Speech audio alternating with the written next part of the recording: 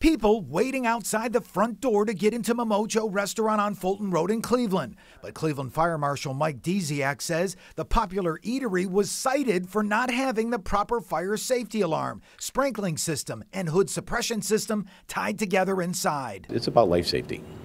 And that's it. If you want to pack people in your establishment, you better, all your life safety systems better be up to code. Ted Thielander, who worked with the National Restaurant Association, says Momocho is far from alone. He says dozens of downtown night spots don't have the proper fire safety equipment or occupancy permits. This has been a long time problem with building and housing that they don't uh, enforce the code and it's a public safety thing. Thielander and Dziak pointed to the roaring fire at Steve's hot dog shop back in March as another possible example.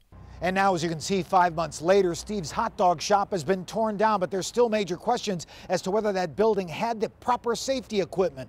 The fire investigators that we talked to believe that all new business owners should be subject to a seminar making them file the proper permits. You tell them about fire, you, how to get their building permit, uh, electricity, that type of thing, where you have a group together, and then you can answer individual questions. Dziak is allowing Momocho's owner to keep his restaurant open, but should building and housing have allowed the location to open without the proper safety equipment? Should he have been allowed to serve food in the first place with a situation like that? I can't answer that. I don't know what the circumstances exactly how his system was.